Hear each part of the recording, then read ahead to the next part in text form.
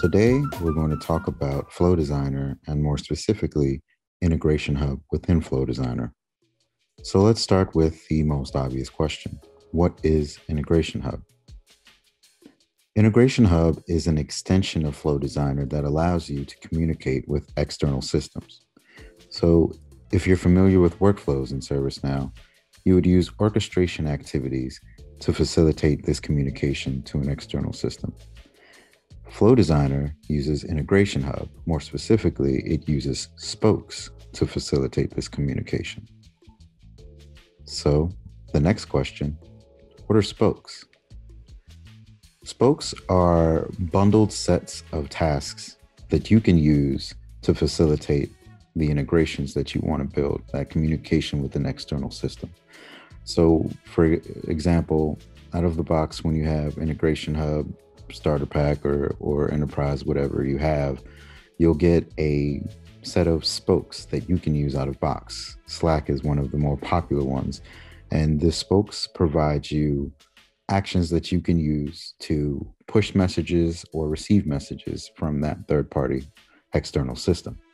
Of course, if there's not a spoke that fits your needs, you can create a spoke by creating an action.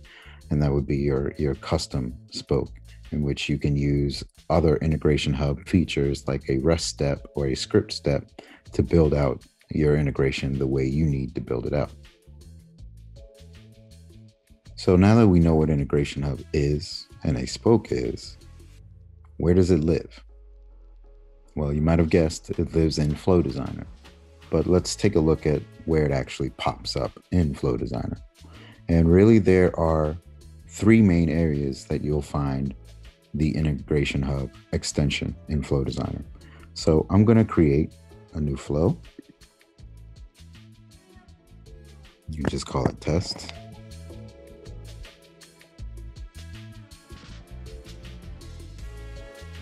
I'm going to skip our tour and the first place that you may notice Integration Hub would be in the trigger.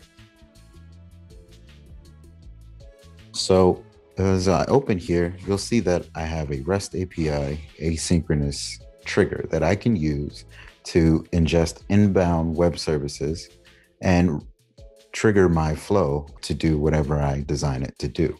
So this is the first place you might see Integration Hub. This is perfect for use with webhooks, and it is a new feature, I believe, that was recently added in one of the last two releases.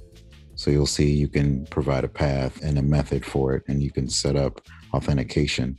So this is the first place you might see something with Integration Hub. Then if I go to add an action to design my flow, you'll see what we were talking about when uh, we were talking about spokes.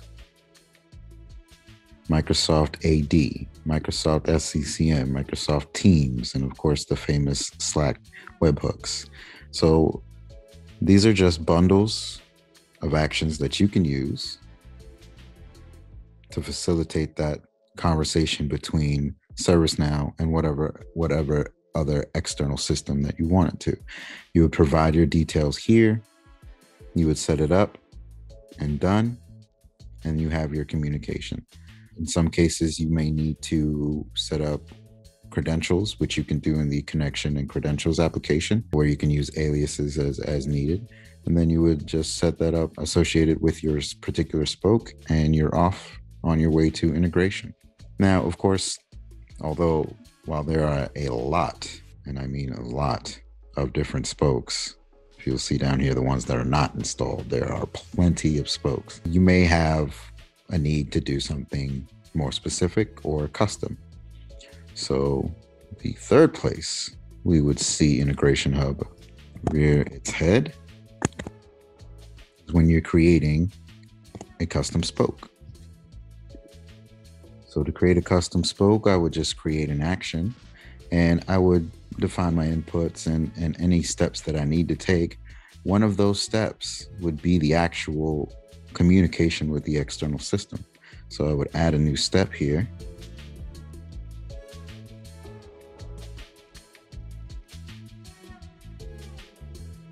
And when I scroll down I can see under utilities, this script step um, with Integration Hub enabled will allow me to write a custom script to create the web service or make it easy on myself. I can come down here to integrations and either create a REST web service with the REST step or PowerShell or SFTP, SOAP, uh, SSH, JDBC. So, a lot of different integration options here when you need to create a custom integration. This is the third place you'll see Integration Hub pop up.